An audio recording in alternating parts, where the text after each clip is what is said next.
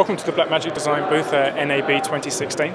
This is one of our, our, new products that we're announcing at the show this year. This is quite a unique little uh, piece of technology. Um, this year we're announcing a shield for the Arduino platform.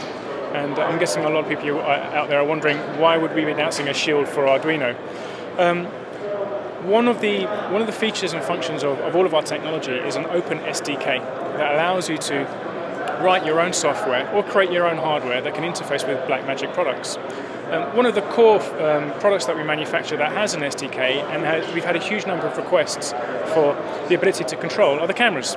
Um, with the cameras, we have a protocol that goes over the SDI stream that allows you to control almost every function of that camera and have communications backward and forward with that camera.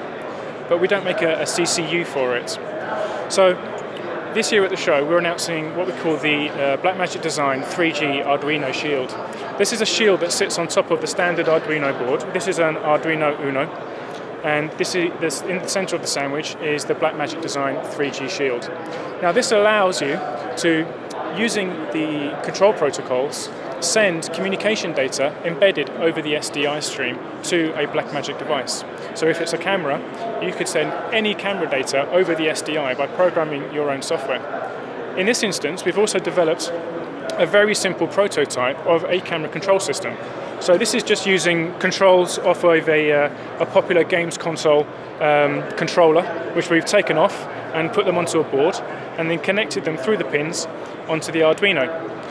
This will then trigger the controls through the software on the Arduino, which are then embedded onto the SDI and sent out to the camera for camera control. But it's a very, very simple way of making an easy to use, faster program, low cost camera control unit. Now this is an unfinished product as a prototype idea, but the physical uh, 3G shield that we've manufactured will be shipping in May and we priced it about $85. Now the great thing about this is with Arduino, not only do you get the ability to now embed data and control protocols into the SDI, but you can also use our telnet commands to control our other devices over gigabit Ethernet. So it becomes a very high power, um, very versatile but low cost solution for making customized applications, both software and hardware, to interface with Blackmagic Design products.